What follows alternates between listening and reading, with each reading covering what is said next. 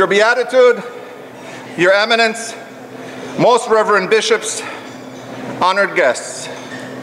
40 years ago, in 1976, like many others here today, I had the opportunity to be present for the third archpastoral visit of Patriarch Joseph Cardinal Slipyj to Toronto. During that visit, I was impressed by the Ukrainian Catholic community of Toronto, and in fact, asked for Patriarch Joseph to give me his blessing to apply to St. Michael's College for my graduate studies in theology at this university's Institute of Christian Thought. The director of my MA thesis on the mystical thought of Metropolitan Andrei Sheptytsky was the late Professor Petro Boris Tereshkovich Bilaniuk, Doctor, Doctor. 30 years ago, that was 40 years ago, 30 years ago in 1986, I had the privilege of founding the Metropolitan Andrei Sheptytsky Institute of Eastern Christian Studies at Catholic Theological Union in Chicago. About 20 years ago, a young priest by the name of Father Sviatoslav Shevchuk attended our Institute's summer program at Holy Transfiguration Monastery, Mount Tabor in California.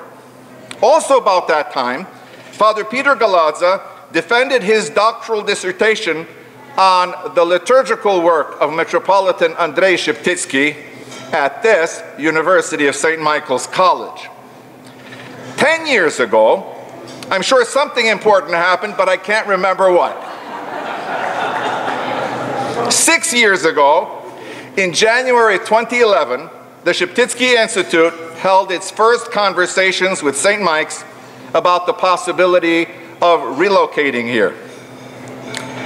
Two years ago, that young priest I told you about, Sviatoslav Shevchuk, now Patriarch of Kiev, Halych, and all Rus Ukraine, in this very Canada Hall, said that he would like to see that relocation happen.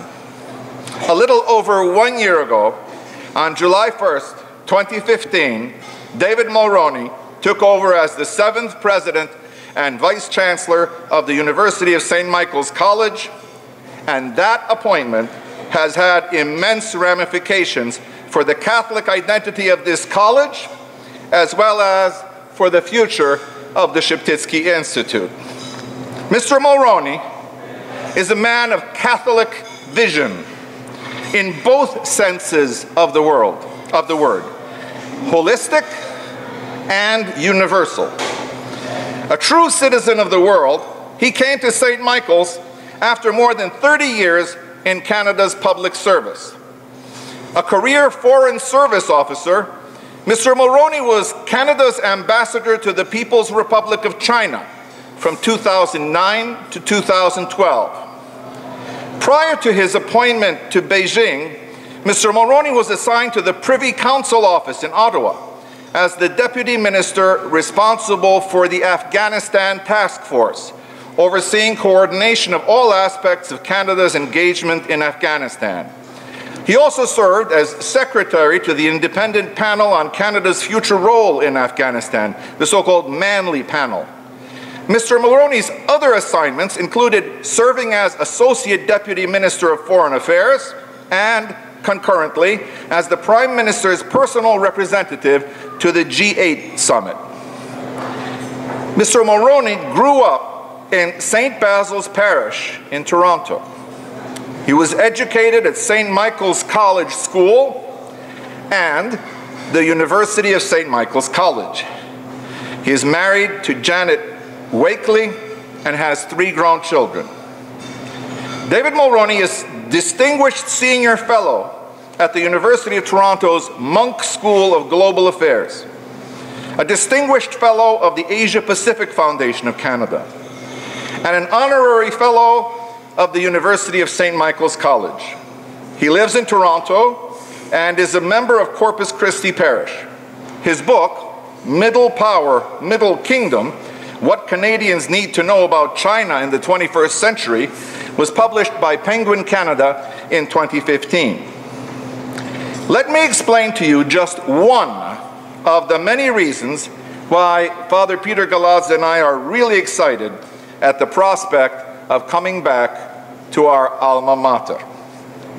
At our first meeting with him,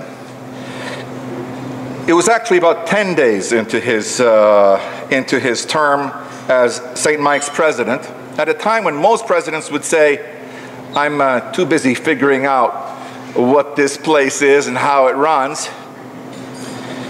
We met with David Mulroney, Father Peter Galadza, Paul Grod, and I heard David Mulroney emphasize at that first meeting that under his presidency, St. Michael's College would again very clearly be the intellectual voice of the Catholic Church speaking into the University of Toronto, the Greater Toronto Area, and the country and the world beyond. In the 15 months, I think that deserves a hand.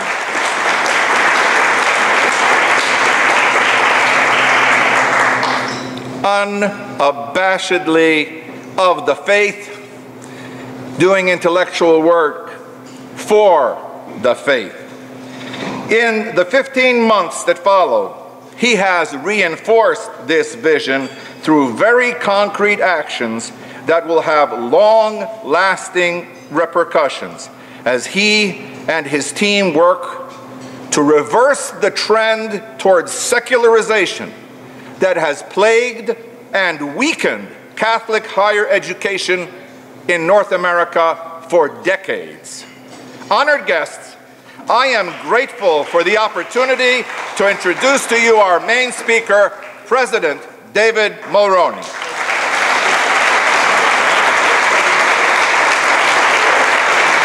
No credible Catholic theologian today can hope to answer important questions about meaning and Christian life without tapping the rich resources of Eastern Christianity. The relocation of the Sheptytsky Institute to St. Michael's is an attempt to make sure that these resources will always be available to us here.